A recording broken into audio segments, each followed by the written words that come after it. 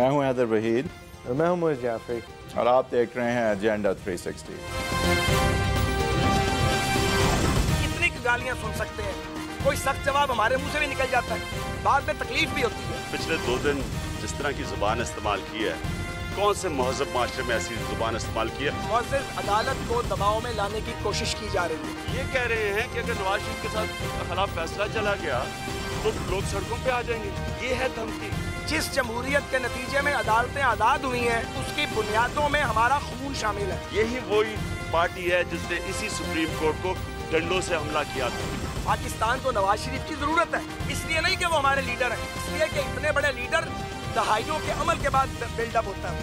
जिस आदमी ने एक फैक्ट्री से इकतदार में आके तीस फैक्ट्रियाँ बनाई हो ये करप्शन है। हम जाने वाले नहीं है उड़ीक नहीं रहते झूठ और करप्शन के ऊपर तो कोई बचता ही नहीं है। वेलकम टू एजेंडा 360 एक और हफ़्ता गुजरा, एक और हफ़्ते के रोज़ का शो हम पैनामा पे कर रहे हैं, जिसकी इस हफ़्ते की जो अपडेट्स हैं वो थोड़ी दिलचस्प हैं। हैदवीद साहब, जो हम काफ़ी दिनों से कहते आए हैं उसका सवाल अब सुप्रीम कोर्ट में आखिरकार उठा कि ये 510 मिलियन इक्यावन करोड़ रुपए, ये किस नौीयत के तोहफे हैं? ये तोहफे कहाँ से जनरेट हुए हैं? और यकीनी तौर पर मेरे ख्याल से ये वहाँ से जनरेट हुआ जो नंबर्स हम भी देखते आए हैं, जो इलेक्शन कमीशन पाकिस्तान में वज़ी अजम पाकिस्तान, नवाज़ शरीफ साहब ने अपनी रिटर्न खुद साख्ता तौर पर जो सबमिट कराई हैं, उसके अंदर उनके अपनी क्लेम ये है कि मेरे साहबजादे ने, एक साहबजादे ने मुझे एक साल 210 मिलियन अगले साल 160 आठ मिलियन सब मिला मिलू के इक्यावन करोड़ रुपए ओवर द कोर्स ऑफ़ चार साल भेजे हैं। अब कोर्ट ने ये पूछा, ये किस नौीयत के तोहफे हैं? अब हमारा, मेरा ये सवाल रहा है, हमारा ये सवाल रहा है कि इसके बाद एक सवाल और पूछा जाएगा और मुझे यकीन है कि हुसैन नवाज़ साहब के वकील की जब जरा की बारी आएगी तो उनसे पूछा जाएगा कि ये नौीयत तो आप छोड़ें, आप बताएँ, ये बने कहाँ से हैं ये पैसे? तो it's down to that final stretch सवाल फिर यही बनता है कि ये पैसे आए तो बाहर से तो नवाज़ शरीफ साहब शायद ये कहें कि ये तो उनकी इनकम है उनका मसला है उनका बिज़नेस है। बताएँ। बट अगर इस चीज़ को नवाज़ शरीफ साहब से नहीं जोड़ना तो फिर इस चीज़ को साबित होना पड़ेगा कि लेजिटिमेटली ये पैसा बाहर ही कमाया गया था और ये वो पैसा नहीं है जिसको रिसाइकिल करके वापस भेजा गया है। क्योंकि वरना फिर ये इश्यूज़ उठेंगे कि यहाँ से in itself initial capital कहाँ से गया और कैसे गया और क्या करते हैं? गया। What do you do? तो बहरहाल ये चीज़ें uh, आगे उठनी हैं। मेरे ख्याल से इंटरेस्टिंग ये होगा और ज़ाहिर है जो समात रेगुलरली अटेंड कर रहे हैं और जो हमारे गेस्ट हैं उन्हीं से हम पूछेंगे कि ये बात एक्चुअली किस तरफ़ जा रही है और किस तरह से अभी तक इसको परसीव किया जा रहा है। बट एक ले पर्सन जो है वो मोटी मोटी चीज़ों की तरफ़ ही उसका ध्यान पहले जाता है और वो वो मोटी चीज़ यही है कि ये इतने सारे पैसे कहाँ से आए? बहुत ज़्यादा डिटेल में मेरा नहीं ख्याल कि एक व्यूवर जा रहा है। वैसे ही एक जो कोर्ट प्रोसीडिंग्स होती हैं उनको फॉलो करना आसान नहीं होता है एक आम आदमी के लिए। और बारहा करना वो मोटी दिन दिन चीज़ों की तरफ़ ही जाता है। मेरे ख्याल से आज जो लोगों की सियासत है इस इशू के हवाले से उस पर तो हम बात करेंगे ही बट शुरू करेंगे समात के हवाले से। हमें ज्वाइन कर रहे हैं फवाद चौधरी साहब जो कि स्पोक्समैन हैं पाकिस्तान तहरीक इंसाफ के और बहुत क्लोजली इस केस को फॉलो कर रहे हैं। तारिक फजल चौधरी साहब बहुत सीनियर लीडर हैं पिंडी इस्लामाबाद एरिया के पी एम एल नून के बहुत पुराने एक लीडर हैं, वो भी हमें ज्वाइन कर रहे हैं। बहुत शुक्रिया आप दोनों, चौधरी साहिबान का, कि आपने हमें ज्वाइन किया। फवाद चौधरी साहब, पहले अपडेट आपसे लूँगा। इससे पहले कि हम सवालात की तरफ़ जाएँ, थोड़ा सा अगर आप बता सकें कि आपका अभी तक का क्या तासर है कि ये समात किस तरफ़ जा रही है। नतीजे की बात नहीं हो रही अभी कि क्या लाइन ऑफ़ क्वेश्चनिंग है, क्या वो अब इशू है। जिसके हवाले से आगे कोर्ट जो है वो इस समात को लेके जा रही है।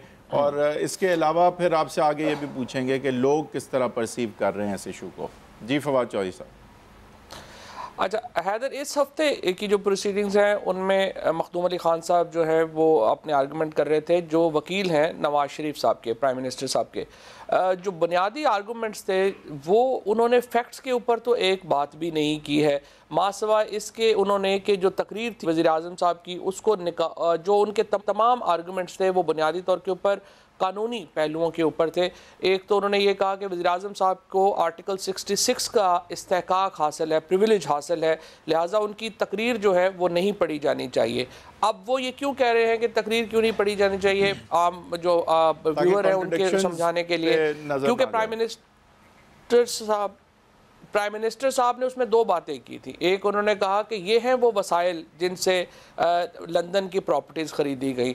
और दूसरा उसमें उन्होंने ये कहा था कि इस तमाम ट्रांजेक्शन का एक एक रिकॉर्ड मौजूद है जो अदालत में पेश किया जाएगा। अब मखदूम अली खान साहब ने और इससे पहले सलमान भट्ट साहब ने तकरीबन यही कहा कि ये जो पार्लियामेंट में जो प्राइम मिनिस्टर की स्पीच है, ये एक पॉलिटिकल स्टेटमेंट थी, लिहाजा इसको आप इग्नोर कर दें, इसको ना पढ़ें। दूसरा जो इम्पोर्टेंट पॉइंट था, वो चूँकि आप दोनों वकील हैं, उसको ज़्यादा मतलब एज हम जो वकील हैं, हमारे लिए इंटरेस्टिंग है वो बात कि मखदूम अली ख़ान साहब ने ये कहा कि जो मटीरियल इस वक्त कोर्ट के सामने है कोर्ट उसकी बुनियाद पर फैसला नहीं कर सकती है। और एविडेंस जो है वो कोर्ट के सामने नहीं है। एग्जेक्टिव जो है वो मटेरियल की बुनियाद पे फैसला करेगा कोर्ट एविडेंस की बुनियाद पे ऊपर फैसला करेगी। लेकिन जो जजेस थे जो जस्टिस खोसा साहब ने स्पेशली ये कहा कि एविडेंस नहीं हम तमाम जो मटेरियल है उसकी बुनियाद के ऊपर फैसला जो है वो कर सकते हैं। लेकिन बहरहाल हम देखेंगे कि आखिर में जो जो जो ये टेक्निकल आर्गूमेंट्स हैं उनको तो कोर्ट कैसे ट्रीट करती है खान साहब के? एक, एक जिसका मैं तारिक फजल चौधरी साहब से भी रिएक्शन लूँगा। एक आपने क्लियरली ये कहा कि नवाज़ शरीफ साहब की लीगल स्ट्रेटजी ऐसे लगती है कि वो कानूनी पहलुओं पे और टेक्निकल नॉकआउट्स पे और इस तरह की आर्ग्यूमेंट्स उन्होंने आपके ख्याल से ज़्यादा की हैं। और मेरिट्स के एक्चुअली ये पैसा कहाँ से आया और करप्शन हुई है या नहीं हुई, या नवाज़ शरीफ साहब इससे जुड़ते हैं या नहीं जुड़ते, उसका उनका बड़ा सिंपल जवाब है कि मेरे नाम पे नहीं है, इसको एक्सप्लेनेशन मुझे देने की ज़रूरत नहीं है। वो तो फिर जिसके नाम पे वो बताएगा कि कहाँ से आया, कैसे आया। क्या यही इसी तरह की बात है? एक और दूसरा आप कह रहे हैं कि उन्होंने उन्होंने ये कहा ये प्ली रखी है कि जो शवाद इस वक्त कोर्ट के सामने मौजूद हैं उसकी बुनियाद पर ना नवाज़ शरीफ साहब को डिसकॉलीफाई किया जा सकता है और ना उसकी बुनियाद पे कोई क्रिमिनल उनके ख़िलाफ़ प्रोसीडिंग्स शुरू की जा सकती हैं। लिहाजा यहाँ तक पहुँचने के लिए या तो जुडिशल कमीशन बने या फिर कोर्ट डिसाइड करे कि क्योंकि कोई शवायद नहीं है इसलिए इस केस को डिसमिस किया जाए। क्या फवाद साहब क्या यही है उनका कानूनी स्ट्रेटजी उनका जो आर्गूमेंट्स हैं, वो एग्जैक्टली exactly ऑलमोस्ट जो हैं, वो यही हैं और इसी के ऊपर जो बुनियादी तौर के ऊपर बात है कि जिस तरह से पिछले मुकदमात में हमने देखा, बड़ी जो बहस रही है वो महमूद अख्तर नकवी केस के ऊपर, फिर हज कोटा केस के ऊपर, जहाँ पर आपको पता है कि सुप्रीम कोर्ट में इस वक्त भी कोई भी पार्टी ये नहीं कह रही है कि नवाज़ शरीफ साहब को आपने कोई खुदा न खास्ता यहाँ पे से जेल में ही भेज दें। जो कॉन्स्टिट्यूशनल डिग्री यहाँ पे मांगी जा रही है, वो एग्जैक्टली exactly वही है जो इससे पहले महमूद अख्तर नकवी केस में या हज कोटा केस में या इस तरह के तमाम केसेस में जब article one eighty four three में सुप्रीम कोर्ट जुडिक्शन लेती है तो वो बुनियादी तौर के ऊपर यहाँ से डिसक्वालिफिकेशन होगी और जो क्रिमिनल केस है या ट्रायल है बच्चों पे और प्राइम मिनिस्टर पे वो तो ज़ाहिर है कि फिर नीचे की जो ट्रायल कोर्ट्स हैं उनमें चलेगा। तो सुप्रीम कोर्ट में जिस वक्त मुकदमा है वो सिर्फ़ डिक्लेरेशन की सबसे इंपॉर्टेंट चीज़ इस वक्त जो आवाम के लिए है सियासी तौर पे और जिसमें कि सुप्रीम कोर्ट कोई फैसला कर भी सकती है वो डिसक्वालिफिकेशन का मामला है। तो इसमें अभी तक क्या ऑब्जर्वेशंस रही हैं कोर्ट की कि अब देखें ना सवाल तो फिर शायद इस तरह नहीं है कि आपने नॉमिनेशन पेपर फ़ाइल किए तो आया कि मरियम नवाज़ उस वक्त आपकी डिपेंडेंट थी या नहीं थी पहला सवाल। अगर थी तो फिर उनके एसेट्स आपने डिस्क्लोज नहीं किए लिहाजा लिहाजा आप sixty two sixty three articles जो हैं, वो क्वालिफिकेशन डिसक्वालिफिकेशन से उनसे हिट होते हैं और आप क्वालिफाइड नहीं हैं to be member of parliament और ये सारे इन सवाल का जवाब क्या फिर आया कि on the face of it documents जो कोर्ट के सामने उनमें मौजूद हैं या नहीं? पहला ये सवाल होगा फिर इसमें। अभी तक तो फ्रेंकली जो फैक्ट्स हैं, उसके ऊपर एक भी बात वज़ी अजम की टीम ने नहीं किया। जो जो प्रपोजिशन है, इस वक्त वो ये है कि देखिए अपार्टमेंट्स हैं जो एडमिटेड है कि प्राइम मिनिस्टर साहब की फैमिली के हैं नीलसन और नेस्कोल एडमिटेड है कि उनकी हैं। जो एडमिटेड नहीं है वो ये है कि मनरवा कंपनी जो है वो नीलसन और नेस्कोल की मालिक है और मरियम नवाज़ शरीफ मनरवा कंपनी को होल्ड करती हैं। एफ़ आई ए की डॉक्यूमेंट जो हमने दी है जो वहाँ पर ये होल्ड करती है जो हम हमने जो डॉक्यूमेंट दी है उसमें लेटेस्ट जो है वो जो एफ़ आई ए की डॉक्यूमेंट है वो टू थाउज़ेंड ठीक।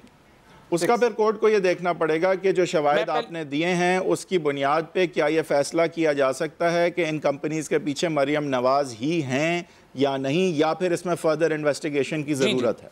अच्छा। ठीक है आई थिंक बिल्कुल आपकी बात सही है। उसमें इंपॉर्टेंट बात अगर मैं पॉइंट अपना थोड़ा मैं आपको पॉइंट बता दूँ। मनरवा कंपनी के ऊपर दो डॉक्यूमेंट्स हैं। एक तो मनरवा कंपनी की British F I FIA British Virgin Island की एफआईए की डॉक्यूमेंट है जो ये बताती है कि मरियम नवाज़ शरीफ मनरवा की बेनिफिशियल ओनर है और ये 2005 की डॉक्यूमेंट है। 2004 की डॉक्यूमेंट है जिसमें नीलसन के शेयर मनरवा के नाम ट्रांसफ़र किए हैं वो भी मरियम नवाज़ शरीफ बीबी ने किए हैं। लिहाजा इन दो डॉक्यूमेंट्स को कोर्ट अगर कंसिडर करेगी और आपने जिस तरह कहा subject to court subject to court proposition का जो ऑर्डर होगा उसके मुताबिक होगा तो फिर उसका मतलब ये होगा कि जो तमाम कहानी 1990s का दिखा सकें कि ये पैसे जो हैं यहाँ मुल्क से 90s के एरा की जी जी, पेपर प्रूफ जो है वो आप डिमांड करते हैं कि वो अपना मनी ट्रेल सबमिट करें ऑन द बेसिस ऑफ़ आपने जो प्राइमा फेसी 2005 तक केस बना दिया सब्जेक्ट टू वन पेपर सिर्फ़ जो हमने दिया है वो 99 का क्राउन कोर्ट का ऑर्डर है जिसमें ये तीन प्रॉपर्टीज़ प्लेज की गई और फिर इसको कोर्ट ऑर्डर दिया गया और फिर रिलीज़ हुई। उसके अलावा है उनके लॉयर को तारिक साहब के पास भी जाना है लेकिन एट दैट टाइम जबकि आप दिखा पाए हैं at least on the face of it कि ये मरियम मरियम नवाज़ की ही कंपनीज़ थी। एट दैट टाइम क्या कोई नॉमिनेशन पेपर फ़ाइल हुआ था जिसमें के उसके बाद दो हज़ार बारह का हुआ था ना तो उसके, नहीं उसके बाद हुआ बट उस वक्त तक भी ये कंपनीज़ मरियम नवाज़ की थी या नहीं इस हवाले से अभी तक कोई है चीज़ सामने? तो यही है जो चीज़ है ना कि ये वो ट्रस्टी। हैं। हम कह रहे हैं वो बेनिफिशियल ओनर है। वो कह रही है मैं ट्रस्टी हूँ ये सिर्फ़ सही है। ये तारिक फजल चौधरी साहब एक एक लंबी लिस्ट बन गई है sir for you to respond on at at your pleasure शुरू मेरे ख्याल से वो इस हफ़्ते की जो मेजर अपडेट थी सर जिसको हम काफ़ी दिनों से इस शो में कैरी करते आ रहे हैं उससे शुरू करते हैं। सर ये 510 मिलियन इक्यावन करोड़ रुपए ये किस नौीयत के तोहफे हैं? सर आप इलूसिडेट करेंगे? हमें बताने की पसंद करेंगे? जी बसमीम जी बहुत शुक्रिया। सबसे पहले आज आपने प्रोग्राम में दावत दी। मैं बिल्कुल उस पर आऊँगा लेकिन अगर आप इजाज़त दें तो चूँकि काफ़ी लंबी बात हुई है और बहुत सारे निकात आपने फात साहब से डिस्कस किए हैं तो मैं उनमें से कुछ की थोड़ी सी वजाहत कर दूँ। पहली बात ये कि जो आपके प्रोग्राम में डिस्कस हुआ कि प्राइम मिनिस्टर साहब के वकला ने और ख़ास तौर पर मखदूम साहब ने सिर्फ़ लॉ पॉइंट क्यों डिस्कस किए और उन्होंने जो मनी ट्रेल की बात की जाती है या जो पूरा आ, बाकी फैक्ट्स ऑफ़ द केस है उन पर बात क्यों नहीं की? उसकी बुनियादी वजह यह है कि प्राइम मिनिस्टर साहब का अपना नाम चूँकि पनामा लीक्स में नहीं है और जो अपार्टमेंट्स हैं। लंदन के वो भी प्राइम मिनिस्टर साहब के अपने नाम पे नहीं है। इसलिए जी आप मैंने सुना लेकिन चूँकि प्राइम मिनिस्टर साहब की बाहसीत मेंबर कौमी असम्बली बाहसीत प्राइम मिनिस्टर कुछ इस्तेकाक है और वो आ, उनके वकील ने कोर्ट के अंदर ये डिस्कस किया है कि उनका इस्तेकाक क्या है। देखिए मेरा मैं बाहसीत मेंबर कौमी असम्बली जो मेरे राइट्स हैं जो मेरा इस्तेकाक है ये वैसा मैं आपको और अपना शाह साहब, मैं आपको ये बड़ी एक इंटरेस्टिंग बात बता रहा हूँ और फाद साहब इससे इतफाक़ करेंगे, वो भी माशाल्लाह एक समझदार लॉयर हैं। मैं अगर अपने इस्तेकाक से बासीत मेंबर कौमी असम्बली ये कह दूँ कि मैं अपना इस्तेकाक छोड़ता हूँ सरेंडर करता हूँ, उसके बावजूद वो सरेंडर नहीं होता। बासीत एम एन ए जो मेरा इस्तेकाक या राइट्स हैं, मैं कह दूँ कि मैं नहीं छोड़, मैं छोड़ता हूँ, फिर भी वो वो छोड़ा नहीं जाता। जज साहब ने आज बहुत सही बात की है और हमेशा हैं, उन्होंने ये बात की है कि प्राइम मिनिस्टर ने उन्होंने इम्यूनिटी नहीं मांगी इस्तेकाक की बात की है। इसीलिए हमने ये बात की है जो तकरीर की बात है कि तकरीर के ऊपर आप इतना वक्त सात दिन ज़ाया करेंगे एंड में हम ये कह दें जी कि हमारा इस्तेकाक है तो बात ख़त्म हो जाती है। इसलिए हम बाकी लॉ पॉइंट्स पे बात करें और लॉ पॉइंट्स पे ही बात हुई है। ठीक है तारिक साहब ये बात हमने क्लैरिफाई भी कर दी सर और ये क्लैरिफाई करने की ज़रूरत इसलिए आपके वकील ने भी ये स्टांस ली है। मखदूम अली खान साहब ने भी ये स्टांस लिया कि इसके अंदर हमारी नज़र में गलत बयानी नहीं है ओमिशन हो सकता है। ठीक है। ओमिशन हो सकता है। दूसरी बात यह जी कि जो जजेस भी इस केस की नोयत से, इसकी सेंसिटिविटी से बहुत ज़्यादा वाकिफ़ हैं और उन्होंने ये बात कही है कि हम अधूरे शवाहद की बुनियाद पर और अथेंटिक जो डॉक्यूमेंट्स हैं, उनके अगर वो नहीं होंगे, हम इसका कोई फैसला नहीं दे सकते। हम हम कोई ऐसा नहीं कर सकते सर। मुबम अंदाज से जाए अगर और इसका चौधरी साहब से हम पूरी लाइफ के ऊपर होगा। हम असल में फवाद चौधरी साहब से सिर्फ़ उनकी पीटीआई का मौकफ नहीं ले रहे थे जिस तरह आपने सुना। हम उनसे as a court going lawyer वो दिन ब दिन की जो समाज की डिटेल्स हैं वो भी ले रहे थे। इसलिए आपको इसकी जवाब देने की ज़रूरत नहीं है। I think we vast him with regards to जो वो कह रहे थे पीटीआई के हवाले से उसका हम सवाल उनसे पूछ चुके हैं। ये बात आपकी बिल्कुल दुरुस्त है। मखदूम अली खान साहब की जो बात है वो ऑन द रिकॉर्ड है। और मैं आखिरी बात बता दूँ पहली बात का जवाब सवाल पे आते हैं। नहीं तारिक साहब पहली बात का जवाब दें। आपके ख्याल में ये जो पैसों की कहानी है ये शुरू होती है दुबई में। और ये हजम नहीं होती जब सऊदी अरेबिया के अंदर इससे मिल खरीद लिया जाता है और ये फिर भी ख़त्म नहीं होती जब इससे लंदन में फ्लैट्स ले लिए जाते हैं। अगर ये भी बात सही है तो ये इक्यावन करोड़ रुपए का गिफ्ट ये कहा कि फाद साहब फाद साहब चूँकि वकील हैं और रोज़ केस में जाते हैं डिटेल से वाकिफ़ हैं मैं वैसे तो मेडिकल डॉक्टर हूँ लेकिन आधे से ज़्यादा वकील मैं बन गया हूँ। रोज़ जा जाके टॉक शोज़ पे और अदालतों में तो आप हमें वकील ही समझें। तो गुजारिश ये है जी कि ये जो हमारा जो फैक्ट्स आप पूछ रहे हैं जिनका छोटा सा ज़िक्र आया और उसकी, उसके तफसील में हम नहीं गए अदालत में, इसलिए नहीं गए कि सोमवार से जो हमारे वकील हैं मरीम नवाज़ साहिबा के और उसके साथ साथ हुसैन नवाज़ साहब के, वो अपने दलाइल देंगे। मेरा ख्याल है हमें कोर्ट का वेट करना चाहिए। बजाय इसके, यहाँ अदालत लगा लें और आर्टिकल्स का हवाला दें और नीलसन नेस्कॉल और इन सबको, मिनरवा को यहाँ उनकी, उनका सर्जरी करें। या हमें थोड़ा सा वेट करना चाहिए मंडे को इंशाल्लाह। तमाम दलाल सुप्रीम कोर्ट में बिल्कुल बात ना करें। आप बस मुझे एक सवाल का जवाब दे दें जो अभी सब जुडिस भी नहीं है और सुप्रीम कोर्ट ने सामने भी नहीं रखा है। ये हुसैन नवाज़ साहब काम क्या करते हैं? इक्यावन करोड़ हुसैन नवाज़ साहब का मैं कोई मैं हुसैन नवाज़ साहब को बिज़नेस मैनेजर तो नहीं हूँ कि मैं आपको बताऊँ कि प्रिसाइजली वो क्या काम करते हैं लेकिन मुझे हुसैन नवाज़ साहब के जो दादा जान उनका पता है। वाकफियत चार साल की है मुझे पता है कि आप डॉक्टर मेरी बात मुकम्मल होने देना देखें मेरी बात सुने। आपने इरादा ये किया हुआ है कि फाद चौधरी को आप दें अनइंटरप्टेड टाइम और मुझे हर तीस सेकंड बाद काटें। I don't think this is what you doing अगर आपने ये कर नहीं यू आर डूइंग इट आप जरा रिकॉर्डिंग देख लीजिएगा प्रोग्राम के बाद अपनी। यानी मुझे आप बात ही नहीं करने दे रहे। मैं एक जुमला कहता हूँ आप दो बैठे हैं जनाब भाई मुझे काट रहे हैं। इस तरह तो नहीं बात होगी ना। अनइंटरप्टेड टाइम दिया है पूरा तसली से मौकफ सुना है। तो आप मुझसे सवाल करते हैं तो मेरे जवाब तो करने दें मुझे। आप बताएँ क्या सवाल आपने किया है? मैं पूछ रहा हूँ सर जिस तरह मैं आपके बारे में मैं उनकी बिज़नेस डिटेल से तो वाकिफ नहीं हूँ क्योंकि वो मुल्क से बाहर काम कर रहे हैं। अगर यहाँ पे वो काम कर रहे होते तो शायद मुझे तक पता होता। ठीक है। भाई जो बिज़नेस वो कर रहे हैं मुल्क से बाहर मैंने कहा मैं उनकी डिटेल से वाकिफ नहीं हूँ लेकिन मुझे ये पता है कि वो उनका ताल्लुक उस बिज़नेस फैमिली से है जो 1970 में जो चार पाँच करोड़ रुपया सालाना टर्नओवर था जिसका जिस वक्त सोने का एक तोला जो है वो डेढ़ सौ रुपया तोला था। उस फैमिली को मैं जानता हूँ उनके बिज़नेस को मैं जानता हूँ। अब हुसैन साहब ने प्रिसाइजली वहाँ पे क्या बिज़नेस है शायद इसकी तफसीलात मुझे बहुत ज़्यादा पता ना हो लेकिन अगर वो पैसे भेज रहे हैं तो अपने वालिद को भेज रहे हैं। वालिद जो दे रहा है तो अपने बेटे को दे रहा है बेटी को दे तो मेरा इस वक्त पार्लियामेंट के अंदर मैं मैं ये बात कर रहा हूँ कि मेरा पार्लियामेंट के अंदर आप जो असासे हम जमा कराते हैं आप खोल के देखें। 95 परसेंट इनहेरिटेड हैं जो मुझे अपने बाप से मिले हैं। पाँच परसेंट मैंने खुद कमाए होंगे। आप लोग ये कहें जनाब ये बाप से क्यों लिए थे? कहाँ से लिए थे? और दूसरी बात ये है कि जो वालिद साहब का या उनके वालिद साहब का बिज़नेस था उनका जवाब दे मैं नहीं हूँ कि ये उन्होंने जनाब कैसे लिए कहाँ से लिए। जवाब में एक जवाब दे दिया तारिक साहब। एक एक ब्रेक लेनी है मुझे। मेरा बस सवाल का मकसद ये था कि अगर आप ये बात मानते हैं कि ये जिस भी नौीयत का बिज़नेस करते हैं जिसका आपको नहीं पता हालाँकि आपको पता है कि आपको ये भी नहीं पता वो किस फ़ील्ड में बिज़नेस करते हैं हम ये मान लेते हैं कि आपको नहीं पता। हमें भी नहीं पता। लेकिन आ, और ये कोई अजीब बात भी नहीं है आपके लिए लेकिन आप ये ज़रूर मान रहे हैं कि जो भी बिज़नेस कर रहे हैं उसका ताल्लुक उनके ख़ानदान से है जो ख़ानदान बिज़नेस ताजर ख़ानदान है बड़े ज़माने से। तो कम अज़ कम मेरे लिए ये सवाल तो बनता है इस ब्रेक के बाद कि ताजर खानदान है यानी कि मैं दुरुस्त कर दूँ। यानी सरमाया घर वालों से आया है यानी नवाज़ शरीफ साहब ये नहीं कह सकते कि ये मेरे बच्चे का अपना काम है। उन्होंने अपनी तरफ़ से सरमाया बनाया ना ना ना ना आप अच्छा। आप आप मेरे मुँह में अपने अल्फाज डालने की कोशिश कर रहे हैं जो मैं कभी भी होने देता। अच्छा। मैं मैं रिफ्रेश कर देता हूँ। मैं अपनी स्टेटमेंट को रिफ्रेश कर देता हूँ।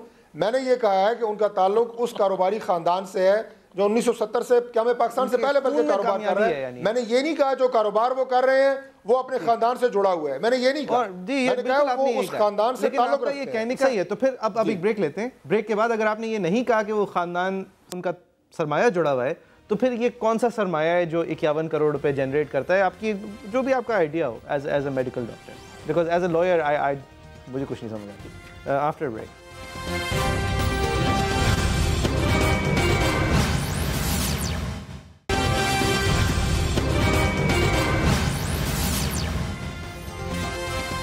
वेलकम बैक हम ब्रेक से पहले डॉक्टर तारिक फजल चौधरी साहब से बात कर रहे थे। उन्हीं के पास जाएँगे मुख्तसरन इस पॉइंट का जवाब लेके, फिर फवाद चौधरी साहब से इसका रिस्पांस भी ले लेंगे। डॉक्टर साहब ये ठीक है, आपने इस बात की वजाहत भी की ब्रेक से पहले कि आप ये, कि आप ये नहीं कह रहे कि उनका अपने ख़ानदानी बिज़नेस से कोई जोड़ था जो ये आज वहाँ काम करते हैं। लेकिन सर, ये तो मानेंगे ना आपके अगर सरमाए के बुनियाद पे काम करते हैं तो सवाल फिर वालिद और फिर उन वालिद के वालिद तक जाएगा, क्योंकि सरमाया फिर नेसेंटली कहीं से आया होगा। या फिर आप मानते हैं कि उन्होंने कोई प्रोफेशन करके ये सरमाया कमाया है, जो कि आज इक्यावन करोड़ रुपए की शक्ल के फल दे रहा है? देखें जो आप ये कहें कि इब्तदाई तौर पर जो बात हमारी तरफ़ से की गई है, जिसकी डिटेल्स हमने देनी है और मैंने इसीलिए आपसे ये बात की थी कि ये कबल अज़ वक्त होगा, अगर इस वक्त हम जो हकायक हमने अदालत के सामने रखने हैं, वो उससे पहले उस पर डिस्कशन यहाँ से शुरू हो जाए। लेकिन बहरहाल, मैं आपको मोटी मोटी एक दो बातें ज़रूर बता देता हूँ कि हुसैन साहब को अपने दादा से बरह रास्त भी उन्हें शेयर मिला। बैंक, बैंकों से भी पैसा लिया जा सकता है। तो ये ऐसा ज़रूरी नहीं है कि उन्हें बरह रास्त उनके वालद से ही पैसा मिला हो। ये मैं मैं बात आपको, चूँकि मैं उनके ज़ाहिर है, केस का वकील नहीं हूँ, इसलिए मैं प्रिसाइजली आपको नहीं बता सकता और जो बातें हमें मालूम हमारे अंदर हमारे आ, पता भी है ये आप बात अगर नहीं करें तारिक साहब तो आपके लिए बेहतर है क्योंकि तो सिर्फ़ उस बुनियाद पे गैर मुल्की शहरी पैसा ले सकता है अगर वो ज़मीन प्लेज करे। ज़मीन आप कह रहे हैं उनकी थी नहीं उस जमाने में। लिहाजा इसको छोड़ देंगे हम वेट करते हैं ट्यूजडे तक का। फवाद चौधरी साहब आप सर मैं, मैं, मैंने आपसे शुरू में यही बात की थी जी ठीक हम इस पे एक डिबेट फ़िलहाल खोलना नहीं चाहते। You don't want to do it and you shouldn't do it it's not in your interest Fawad Chaudhry साहब आप बताइए सर ये जो तोहफे आए हैं जो डिक्लेयर किए हैं वजी अजम साहब ने मैं ये भी नहीं कह रहा कि हमारी हमारा अंदाज़ा है कि इतने पैसे आए या इतने पैसे नज़र आते हैं रायवेंड में खर्च हुए हुए या वज़ी अजम साहब के ये अखराज हैं। ये वज़ी अजम साहब का खुद कहना है कि सन 2012 के टैक्स ईयर में इक्कीस करोड़ रुपए उससे पहले साढ़े सोलह करोड़ रुपए मजमू तौर पर चार साल की जो डिक्लेरेशन हैं बिफोर दिस इलेक्शन साइकिल उसमें मजमू तौर पर चार साल के इक्यावन करोड़ रुपए ये मेरे बेटे ने मुझे खुद साख्ता तौर पर तोहफे में भेजे हैं जिसका सवाल इस हफ़्ते सुप्रीम कोर्ट में उठा था। तो how do you see this? Is this your smoking gun? जी जी अच्छा मोइज ये इसके लिए आपको थोड़ा ज़रा अगर आप जो एफ़ आई ए की रिपोर्ट है 249 पेजेस की जो अब इस केस का हिस्सा है अगर आप उसको देखेंगे तो आपको पता चलेगा कि रहमान मलिक साहब वाली है और मेस्ता खान दो आ, जी दो हवाला एजेंट थे पिशावर के जिनके ज़रिए पैसे बाहर भेजे गए और उसके बाद वही पैसे तरतालीस लोगों के नाम जो है वो वापस मंगवाए गए और उनको रेमिटेंसेस डिक्लेयर किया गया। अब यहाँ पे ये बड़ी इंटरेस्टिंग आपको नज़र आती है कि इक्यावन करोड़ रुपया हुसैन नवाज़ साहब नवाज़ शरीफ साहब को गिफ्ट कर रहे हैं। नवाज़ शरीफ साहब वो गिफ्ट मरियम नवाज़ शरीफ साहिबा को कर रहे हैं और मरियम नवाज़ शरीफ साहिबा उसी गिफ्ट से नवाज़ शरीफ साहब से ज़मीन खरीद रही हैं। Now it's a rotation of money और ये रोटेशन ऑफ़ मनी हसन साहब में, हुसैन साहब में, नवाज़ शरीफ साहब में और मरियम नवाज़ शरीफ साहब में है। और ये तो वो पैसे हैं जो अभी 2011-12 में डिक्लेयर हुए हैं। अगर आप पीछे चले जाएँ और पिछली डिक्लेरेशंस देखेंगे तो you will see the billions of rupees जो पाकिस्तान से पहले बाहर गए फिर पाकिस्तान में रेमिटेंसेस के तौर पे वापस मंगाए गए गिफ्ट के तौर के ऊपर मंगाए गए और आपस में इसी तरह से रोटेशन देखिए ये ये हम नहीं देख पाएँगे। अगर ये देख पाते तो बात ही खत्म हो जाती कि पाकिस्तान से जो बिलियंस ऑफ़ रुपीस बाहर गए हम इन्फर कर पाएँगे। यानी कि हम ये बात अपनी तरफ़ से एक लीप ऑफ़ फेथ लेके कह पाएँगे कि ये कभी बाहर ही गए होंगे जो वापस आ रहे हैं लेकिन इसकी कोई पेपर प्रूफ नहीं है। पेपर प्रूफ तो इसी चीज़ की होगी अच्छा, पैसा वापस थोड़ा सा नहीं, और पाकिस्तानी थोड़ा सा मैं आपको थोड़ा सा मैं आपको करना चाहता हूँ। Alright sir Pakistani law is imperfect in the way that allows money to come in without reason go ahead जी थोड़ा सा मुझे इस पे करेक्ट करने दीजिएगा। ये मैं नहीं कह रहा। एफआईए की रिपोर्ट है 249 पेज की जो अब इस केस का हिस्सा है और जजेस ने फैसला करना है कि उन्होंने ये रिपोर्ट पढ़नी है या नहीं पढ़नी है, है। इसाक डार साहब का एक ऑफिशियल स्टेटमेंट है 164 का जो जजेस ने फैसला करना है कि पढ़ना है या नहीं पढ़ना है बीबीसी की जो फ़िल्म है पाकिस्तान वो पढ़ना है या नहीं पढ़ना है ये फैक्ट जो है ये उसमें एक एक रुपए का हिसाब जो है वो दिया गया है किस तरह से रहमान मलिक साहब की ज़िंदगी की सबसे बड़ी उस जमाने तक कामयाबी थी और वो बीबीसी पे मैंने ये डॉक्यूमेंट्री देखी भी है वो बीबीसी के लिए वो एक यंगर रहमान मलिक बैठे हुए बगैर रमेश की लेकिन यहाँ पर मैं आपको एक जो जो जो ये हमारी हमारी जो एक हमारी जो पॉलिटिकल डायमेंशन है अब देखें तारक फजल साहब इस आपके प्रोग्राम में तशरीफ़ लाए हैं डिफेंड कर रहे हैं नवाज़ शरीफ साहब को। लेकिन नवाज़ शरीफ साहब ने एक पार्लिमानी पार्टी की मीटिंग नहीं हुई नून लीग की जिसमें कम अज़ कम जो एम एन एज हैं तारक फजल साहब जैसे जो मिनिस्टर हैं उनको ये मौका मिले वजी अजम साहब से पूछने का कि आपके ऊपर ये इल्ज़ाम हैं तो आप अपना जवाब हमें दीजिए कि ये कैसे हुआ। आप अपनी पार्टी को देखें फवाद साहब आपके जो एक दफ़ा इलेक्शन हुए थे उन इलेक्शन के ऊपर जो प्रॉब्लम्स थी उनको जो डिसाइड करने के लिए बंदा बिठाया था उस बंदे को फारिग कर दिया उनकी बात नहीं सुनी। और अभी तक जो है तो पता नहीं है लेकिन आप इमरान तो खान से तो बड़ी खुली बात कर सकते हैं। और ना ही इमरान खान का इस तरह का कोई स्कैंडल आया है ये तो फिर आप बैलेंस करने के उसमें आ जाते हैं ना लेकिन मसला ये है कि मैं कह रहा हूँ आप पार्टी की इंडोर मैनेजमेंट पे उंगली ना उठाएँ तो बेहतर शामिल कर लें। मैं नहीं मैनेजमेंट नहीं ना मोई साहब कोई पार्लिमानी जमहूरियत किस तरह रह सकती है? अगर पाकिस्तान में ये हम समझेंगे पॉलिटिकल पार्टीज़ की इंटरनल मैनेजमेंट है डेविड कैमरॉन को किसने हटाया किसने कहा था कि आप आए? आइसलैंड का प्राइम मिनिस्टर क्यों हटा था? Good good democratic governance good democratic practice तो हो सकती है लेकिन उस पर उंगली कोई और पाकिस्तानी पार्टी नहीं उठा सकती क्योंकि कोई भी इस डेमोक्रेटिक प्रैक्टिस का हिस्सा नहीं बनता सिवाय मेरे ख्याल से जमात इस्लामी इन सर्टन और इस तरफ़ आप उंगली उठा भी लें तो इतनी कोई लीगैलिटी की वो हाँ। बात नहीं है लेकिन बहरहाल देखें लीगल केस फवाद साहब एक तरह अलग तरह से लड़ा जाता है। उसमें वज़ी अजम का हक है कि उनकी तरफ़ से ये कहा जाए कि भाई ये मेरा इस चीज़ से कोई लेना देना नहीं है। जिसके नाम पे एसेट्स हैं, वही आके बताएगा कि ये एसेट्स उसके पास कहाँ से आए, वो पैसे कहाँ से आए जिससे एसेट्स लिए गए, वगैरह वगैरह। लेकिन एक चीज़ जो पॉलिटिकल ज़ुमरा जो होता है, उसमें बल्कि तारिक साहब आपसे पूछूँगा, वो ज़रा डिफरेंट होता है। आप लीगली कोर्ट में ये स्टांस लें, मुझे कोई एतराज़ नहीं है। लेकिन इतने महीने गुजर गए और आवाम के सामने एक ठोस जो है वो फैक्चुअल नरेशन नहीं अभी तक रखी गई है कि ये आया कि पैसे कहाँ से आए और एसेट्स किस तरह ख़रीदे गए और ये वापस जो पैसे भेजे गए वो किस तरह से पैसे बने। ये सारी चीज़ें जो हैं ये आवाम के सवाल ज़रूर हैं जिसका आप जवाब आपको पोलिटिकली देना चाहिए। वो आप कोर्ट में जिस तरह भी केस लड़ें का वो अपने तकाजे होते हैं उसके। उसकी मैं नहीं बात कर रहा अभी। तो गुजारिश है जी गुजारिश है कि हमने शुरू से पहले दिन से ये बात की है कि हम तमाम जवाब इन देंगे। अब तो दिन बिल्कुल नज़दीक आ गए हैं। लेकिन उसके लिए एक फॉरम होता है। ये मैं आपको ये बात बताऊँ कि नहीं है मैं पाकिस्तान तरीके इंसाफ ने ने, नहीं मानना नहीं मैं अर्ज़ कर रहा हूँ ना कि इन्होंने नहीं मानना क्या आज तक पाकिस्तान तरीके इंसाफ ने एक हमारा काम माना है कि यार पिछले तीन साढ़े तीन साल में उन्होंने एक अच्छा काम कर दिया है? ये कैसे हो सकता है कि गवर्नमेंट एक भी काम अच्छा ना कर पाई हो? तो ये एक वतीरा होता है। जैसे आपने बड़ी अच्छी बात की कि जो आ, जिस जमहूरी सियासत की बात आप मिसाल दे रहे हैं वेस्टर्न पॉलिटिक्स की बरतानिया की हो या यूरोपियन हो कोई भी उसका यहाँ से मुकाबला नहीं किया जा सकता। ये चीज़ें वहाँ पे होती हैं। कि अगर कोई हुकूमत अच्छा काम भी कर रही हो अपोजिशन उसकी तारीफ़ कर देती है गलत काम कर रही हो नुकता चीनी करती है यहाँ सिर्फ़ नुकता चीनी है। इसलिए हमने ये कहा कि फैक्ट्स एंड फिगर्स मुतल फोरम के ऊपर देंगे। ये रोज़ाना अभी मिसाल के तौर पे आपके टॉक शोज़ में कम बात हुई है। रोज में कल मैंने तीन प्रोग्राम किए हैं। ये सुने ना सुने सुने। तो नहीं है ना अदालत पार्लियामेंट के बाद खिताब के बाद जो कुछ उसका जो कुछ उसका जो कुछ उसका ऑपरेशन और उसकी सर्जरी हुई वो आपने देखी। मैं सिर्फ़ थोड़ी सी बात ये अर्ज़ करना चाह रहा हूँ कि हर टॉक शो के अंदर law points Nielsen Nelson Meera फलाना और पता नहीं यार खुदा का वास्ता है ये ये चीज़ें अदालत की सब्जेक्ट है अदालत में ही डिस्कस होनी चाहिए फैसला अदालत को करना चाहिए। आपकी पार्टी ने हम हर फ़ायदा नहीं उठाया पेचीदा है। कहीं कोई समझाना पड़ता है मिनरवा भी समझाना पड़ता है ओनरशिप ईयर्स भी समझाने पड़ते हैं टैक्स डॉक्यूमेंट्स भी समझाने पड़ते किसको समझ आनी है? अदालत पूछेगी बता देंगे ये बाकी बातें हम बस यही कर लेते हैं कि हमारा तो बड़ा पुराना खानदान है बड़े हमने पैसे बनाए हैं बड़े काम मैं मैं मैं दूसरे अंदाज से देता हूँ देता हूँ इसका जवाब। जी। मैं दूसरे अंदाज से इसका जवाब देता हूँ धांधली का मौजू ले लें। उसके ऊपर पाकिस्तान तरीके इंसाफ ने क्या क्या नहीं किया? कितने धरने हुए कितना एहतजाज हुआ? हमारे पर कितने इल्ज़ाम लगे? हर इनके जलसे में गालियाँ इल्ज़ाम बुछाड़। चुप होता भी हुए जब अदालत ने फैसला दिया। फैक्ट जब अदालत में आए वो अपने सबूत लेके आए हम गए ने फैसला दिया मामले में आपने बड़ी पुरजोर यही यहाँ पे भी है इंशाल्लाह।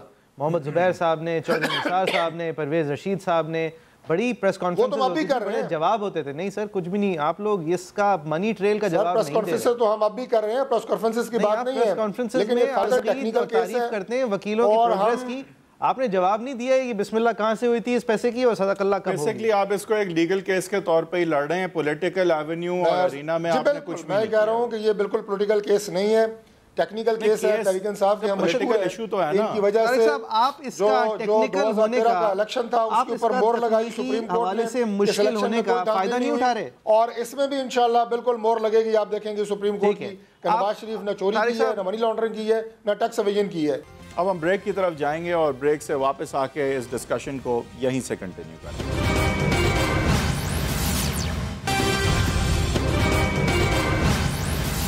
वेलकम बैक कुछ चीज़ें जाफरी साहब जो हैं उनका जवाब तो कॉम्प्लिकेटेड हो सकता है बट ये सवाल कॉम्प्लिकेटेड नहीं है कि ये पैसे पैसे कहाँ से आए। तो अब जब सवाल कॉम्प्लिकेटेड नहीं होता तो आवाम सवाल तो कर सकती है जब जवाब आगे से आता ही नहीं है नहीं आए तो आता। जवाब आए।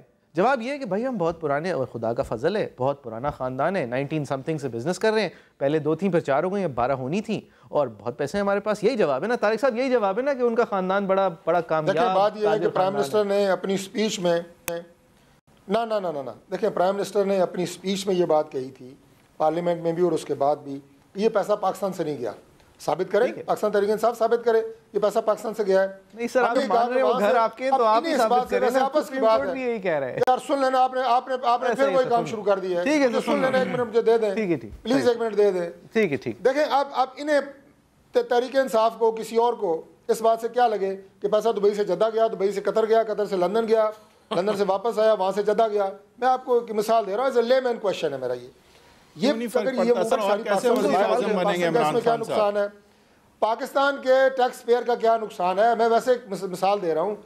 अब जब ये बात उस तरफ़ ले आए हैं तो हमने कहा जी वो पूरा का पूरा ट्रेल आपको दे देते हैं। सारे फैक्ट्स एंड फिगर दे देते हैं। ये हम इस बात पे कायम है कि पैसा पाकिस्तान से नहीं गया। पाकिस्तान के टैक्स पेयर का पैसा नहीं है करप्शन का पैसा नहीं है। अब ये साबित हो रहा है कि पैसा जो है वापस पाकिस्तान आया है यहाँ से गया नहीं है। और इसके लिए हम साबित जो हमारे पास है वो हम करेंगे अगर ये इल्ज़ाम जो इन्होंने लगाया कि पैसा कतर से कतरी फलाना से भी गया तो कैसे ये तो ये तो शुरू यहाँ से अगर नहीं हुआ तो फिर कैसे शुरू हुआ? कहीं मतलब से ये दुबई में मिल जो है ये ज़मीन के अंदर से फौलाद निकला और वहाँ पे खड़े हुए थे मियाँ शरीफ साहब और उनको पता चल गया। यानी बिस्मिल्लाह कहाँ से हुई इस मनी निकल आया कहीं क्या हुआ? देखे हमारे वो बता हमारे हमारे वकील ने ये बात की है बासठ तिरसठ की मैं आपसे तीस सेकंड लूँगा। हमारे वकील ने ये बात की सुप्रीम कोर्ट में कि बासठ तिरसठ की अगर आप बात कर रहे हैं उसके तहत प्राइम मिनिस्टर को चार्ज करने की वो सुप्रीम कोर्ट नहीं कर सकती। उसके लिए मुतल फोरम है। उस फोरम से फैसला होगा वो अपील सुप्रीम कोर्ट आ सकती है। ठीक है। ये आईने पाकिस्तान कहता है ये इसी तरह ये पैसा बहुत ज़्यादा ये पैसा बता रहे हैं कि दुबई से जनरेट हुआ। ठीक है। ये पैसा दुबई से जनरेट तो हुआ वो दुबई से ताजिर तो नहीं थे सर वो पाकिस्तान के ताजिर थे वो दुबई तक कैसे गए पैसे? नहीं दुबई से कैसे हुआ कुछ किया होगा तो हुआ ना। नहीं वो मिल था ना एक नहीं, नहीं तो मिल कैसे शुरू हुआ? भाई वो ये दैट्स माय क्वेश्चन मैं उसकी सारी तफसील आपको सोमवार को मिल जाएगी। हमारी कोशिश यही है कि हमें वहीं से मिले क्योंकि डॉक्यूमेंट ठीक है कोई बात नहीं। आई थिंक उनका हक है आप ये कहना नहीं पॉलिटिकली इसका जवाब आ जाना चाहिए था अब क्योंकि नहीं आया है। तो आ जाता। मतलब दैट्स द इल्ज़ाम अच्छा फवाद चौधरी साहब आप बताएँ कि आपके ख्याल से आपके लिए कितना यह मुश्किल रहा है क्योंकि ये कॉम्प्लिकेटेड मैटर है हाँ, कौम को इंगेज लोगों को इंगेज रखना इसमें क्योंकि लोग कंफ्यूज तो हैं। सवाल आसान है पैसा कहाँ से आया करप्शन हुई या नहीं हुई। लेकिन इसको फॉलो करना लोगों को इंगेज रखना आप स्पोक्समैन क्योंकि हैं आप अपनी अपनी थोड़ी बताइए इसमें जो चैलेंज रहा है आपको और किस तरह आपने ओवरकम किया कि लोगों को इंगेज रखा जाए इस टॉपिक पे इस केस पे इस इशू पे। सही। अच्छा पहली बात तो यह है कि जिस तरह से तारक फजल साहब ने जो तफसील बताई है कि पैसा जो है वो दुबई से हुआ, ऐसा हुआ वज़ी अजम साहब ये नहीं कह रहे हैं। वज़ी अजम साहब के वकील से जब पूछा गया कि उनके वालद साहब ने ये मिल लगाई थी तो उनके पास कहाँ से रकम आई थी? वज़ी अजम साहब ने कहा कि उन्हें नहीं पता। क्योंकि उस दौर में पर्चियों के ऊपर कारोबार होते थे और रिकॉर्ड अवेलेबल नहीं है, ऊँटों के ऊपर पैसे जाते थे या वट एवर नाइनटीन में। और बाद में जब ये हमने, ये भी पूछा गया कि 19 साल की उम्र में हसन नवाज़ साहब बाईस साल की उम्र में हुसैन नवाज़ साहब और तेईस साल की उम्र में मरीम नवाज़ बीबी जो हैं वो billions and billions of rupees की मालिक कैसे बन गई? तो वजी अजम साहब को ये भी पता नहीं था। तो वजी अजम साहब क्या जो अभी तक ये बात पहले भी हो चुकी है और हमारा शो भी ख़त्म हो रहा है तो जब ये सवाल आप उठाते हैं ना कि रीजनेबल डाउट वाला सवाल कि एक ए, मतलब सवाल करने का हक पैदा होता है क्योंकि एक अमाउंट ऑफ़ डाउट है एक अमाउंट ऑफ़ शक है एक एक मेयार शक का जो है अमाउंट ऑफ़ डाउट नहीं है। आ, ये ये सिर्फ़ उस सवाल का आगाज़ है जो अब तकरीबन साबित हो चुका है ये पैसे कहाँ से आए थे कैसे गए है था। ये अब ज़ाहिर है कि जो मामला जो है इसका जवाब पब्लिकली ये आता है कि जिस तरह मतलब लगभग ये जवाब होता है कि जिस तरह देखें ये अकमल बरदरान है इनके अंदर गैर मामूली क्रिकेटिंग टैलेंट है ये सब पाकिस्तानी टीम में आ गए। इसी तरह ये एक ख़ानदान है इसके अंदर गैर मामूली कैपिटलिज्म का टैलेंट है। इनके पास बहुत पैसा है हमेशा से आपको पता नहीं है इनके पास पैसा है इनके पास पाकिस्तान से पहले से पैसा था आज भी पैसा है जब ये जवाब आता है। बात ये नहीं मियाँ साहब तकरीबन यही आ रहा है जैसे मरियम बीबी ने अपना जवाब दिया हाँ, तो ये मान लेते हैं लोग। मरियम नवाज़ शरीफ साहिबा ने जब डिपेंडेंसी की बात की गई तो मरियम नवाज़ शरीफ साहिबा का जवाब था कि मैं अपनी दादी की डिपेंडेंट हूँ और दादी जो है उनके वालिद की डिपेंडेंट है। तो अब इस सवालों का जवाब तो ज़ाहिर है क्या कोई दे सकता? है अगले हफ़्ते को जब आप अगले हफ़्ते को आप प्रोग्राम करेंगे सूरत हाल मुख्तलिफ़ होगी। अगले हफ़्ते को आपके प्रोग्राम में सूरत हाल मुख्तलिफ़ लेकिन अगले हफ़्ते तक थोड़े से तब्दील हो। आप अगले हफ़्ते तक आप कुछ नहीं हम जो अदालत में बताना चाहते हैं वो आपको नहीं बताना चाहते। जो जो अदालत में बताएँगे वो अदालत में आपसे मुराद आप नहीं है। आपसे मुराद आप नहीं है मीडिया है मीडिया। जी फवाद साहब आपसे मुराद मीडिया है आप नहीं है। मेरा मेरा मतलब है कि हम नहीं सर अगर आप हमें अगर आप हमें करेक्ट करेंगे उससे पहले मीडिया हम अपने आप को करेक्ट करेंगे। We want to be proven wrong नहीं बट जस्ट दैट रॉन्ग है ही नहीं ना। हम तो मतलब नहीं कह रहे कोई गलत है सही हम कह रहे हैं बस बताया नहीं गया है अभी तक। तो फवाद साहब आप बताएँ ये चैलेंज आपके लिए कैसा रहा है स्पोक्समैन लोगों को एंगेज रखना है कॉम्प्लिकेटेड हाँ, टॉपिक बस मेरा बस देखें क्या करूँगा जो हो गया इश्क में भी नाकाम मुझे तो और कोई काम कर नहीं आता। ये तो आता है मतलब मुझे करना लोगों को एंगेज करना लोगों का साथ होना ही था। चलें बहुत बहुत शुक्रिया फवाद चौधरी साहब तारिक चौधरी साहब आपके आज क्या व्यूज़ हैं आप हमारे फेसबुक पेज पे जाके इनका इजहार कर सकते हैं। इन कल शाम सात बज के पाँच मिनट पर मेयर कराची वसीम अख्तर साहब के साथ एक दफ़ा आपसे फिर मिलेंगे।